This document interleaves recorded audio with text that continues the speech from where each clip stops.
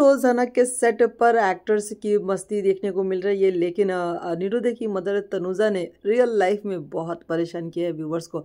जी हाँ पहले जब बात प्रेगनेंसी की आई थी तो उन्होंने एक धमाका कर दिया ये कहकर कि वो एक नहीं तीन बच्चों की दादी बनने वाली है।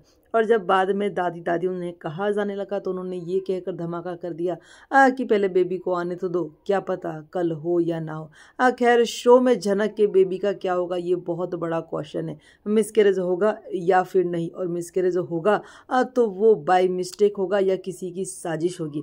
और इसके साथ ही एक बड़ा क्वेश्चन है कि अनिरुद्ध को बच्चे के मिसकेरेज से पहले ये बात रियलाइज़ हो जाएगी कि वो बच्चे का फादर है? या फिर वाकई में बच्चे के बाहर आकर उसके डीएनए टेस्ट होने तक का इंतज़ार करना पड़ेगा।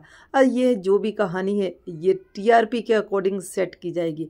और जिन व्यूवर्स को ऐसा लगता है कि हम झनक को सपोर्ट करते हैं और अनिरुद्ध के अगेंस्ट वीडियो बनाते हैं तो गाइज़ जो कुछ भी हुआ है, उसके लिए दोनों इक्वल रिस्पॉन्सिबल हैं जनक और अनिरुद्ध। लेटेस्ट अपडेट के लिए स्टेट यून with thank you for watching